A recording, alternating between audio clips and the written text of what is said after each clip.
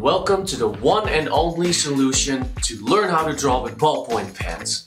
Aren't they just called ballpoints? Yeah, maybe. Let me check on that. Eh, I don't care. It's all about art.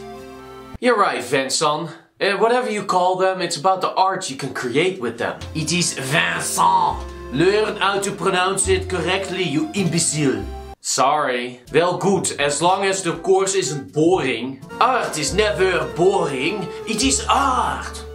True, in this video course you will learn everything you need to know about how to draw with a simple 50 cent or $1 ballpoint pen. Pressure techniques, shading, outlining and other techniques will all be handled in this course. How long is the course? Almost 4 hours. That's so long! Sacre bleu! I created art for 8 hours one time.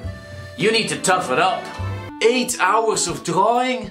Oh man, I could never do that. Anyway, this course will teach you more about choosing the right image, focal points, texture, contrast, composition. But the most important part is the drawings that I will show you from start to finish of how to do it. I can hardly wait. This will be fascinating.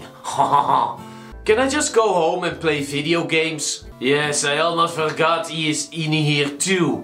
I guess I lowered my expectations. Anyway, thank you for checking out my course. I will see you on the other side.